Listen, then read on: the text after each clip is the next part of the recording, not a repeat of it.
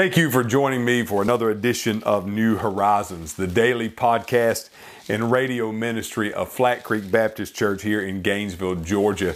It is my greatest joy, as always, to be able to join you for this time of teaching and diving deep into God's Word together. Uh, it is our greatest joy to be able to provide this ministry to you. I hope it is a blessing to you. And if you would like more information about Flat Creek Baptist Church, please go to our website, flatcreekchurch.net, and there you can find all the information you need about service times, um, our church address and uh, how to stream our services, um, what ministries we provide, all that good stuff. We'd love to come alongside of you in your walk with Christ. And also, if you would like to support New Horizons, the radio and podcast ministry, you can give online. Everything you give goes directly to this ministry to keep this going so that we can continue reaching people with the gospel of Jesus.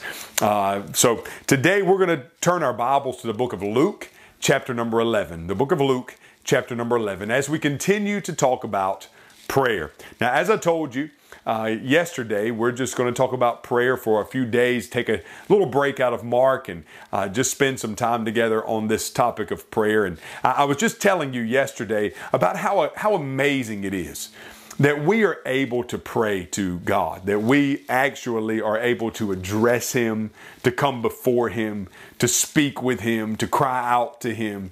Uh, it's, it's just, it's this amazing concept that we're actually able to approach the God of heaven.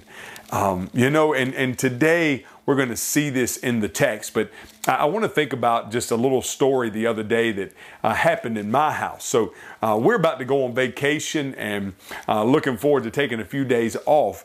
And it, my, my wife this week, she's been a little bit under the weather. She hasn't been feeling the best, and she's been so worried over the last few days that you know, uh, because of her sickness, uh, she's going to ruin the family vacation, this vacation we've been planning for some time. And so she's been really seeking God and praying, and we've been praying as a family that this sickness will go away before we ever get on vacation. And so uh, the other night I had something going on. I wasn't at home when we normally do our family prayer time.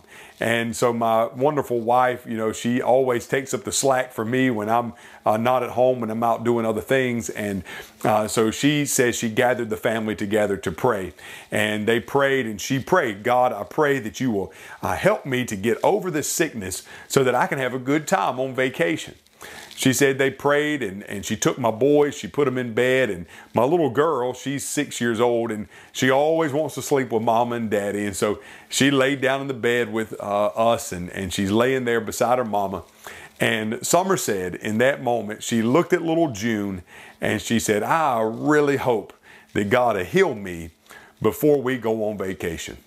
And at that, little June, my little six year old girl, just kind of rolled over in the bed. And my wife said she put her forehead against hers. And my little girl looked at her mama and said, Mama, you just have to believe. Now, friends, I'll tell you right now, that's it. That's the heart of prayer. You just have to believe. Just believe that when you come to God, that He's going to answer your prayers, that He's going to answer according to His will and His way. You, you, know, a lot of people say we shouldn't ask God questions. We, we shouldn't ask God, uh, you know, why. We shouldn't, uh, we shouldn't uh, you know, bother God with these things. Well, friend, listen to me. Prayer is simply operating in faith. Is, is, is going to the only one who knows is, is coming before the only one who can actually intervene supernaturally in whatever situation you're going through and allowing Him to work in that situation. Do you have that type of faith today? To, to just say, only believe. God, I know and recognize you're the only one who can. That's the heart of prayer. That's the heart of faith. Now, as we come to Luke 11 today, I just want you to see what the Bible says. Now, now, the Bible says in Luke 11, verse 1, he was praying in a certain place, talking about Jesus. And when he finished, one of his disciples said to him, Lord, teach us to pray, just as John taught his disciples. Friends, what a word. You know, the disciples, they, they, they, they see Jesus, the Savior, the Messiah, the sinless one, the Lamb of God who takes away the sins of the world, the God man, the Son of God, the only begotten of the Father, the King of kings, the Lord of lords. Uh, we could go on and on. They're, they're with Him, they're walking with Him. That they have this, this amazing ministry with Him. And yet, in all of that, they're watching Him and they see Him praying.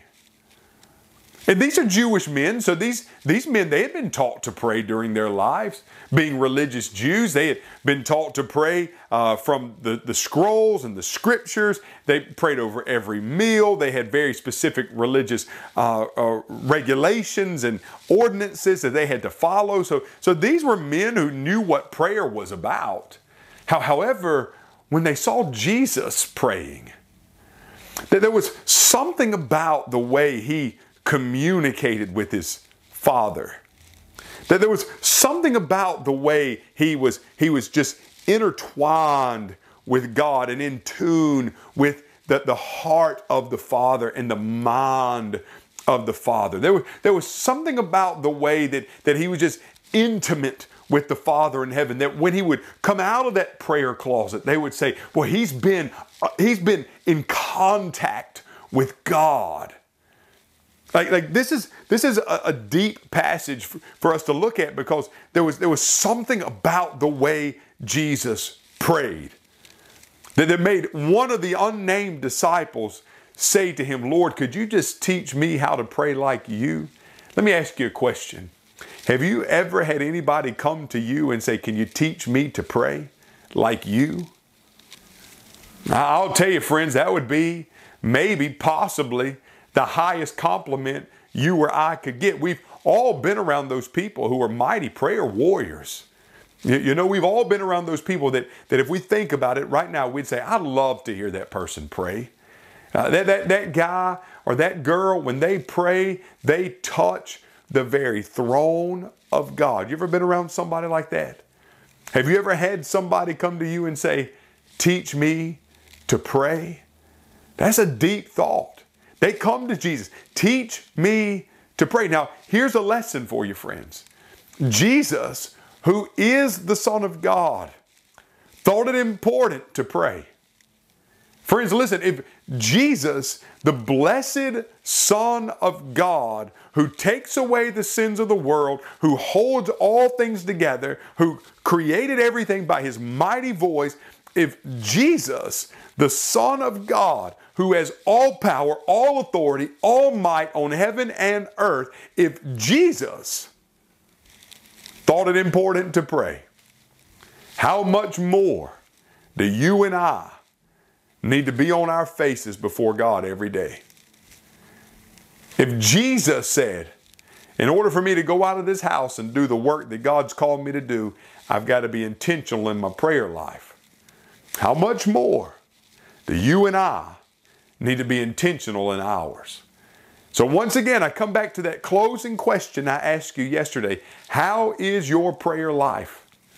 Where are you at in your walk with God as it pertains to prayer? If you're not praying enough, if you're not praying as much as you think you ought, then I want to encourage you right now to turn off this podcast and just pray to God. Can I tell you? He wants to hear from you. May God bless you, and we'll see you next time on New Horizons.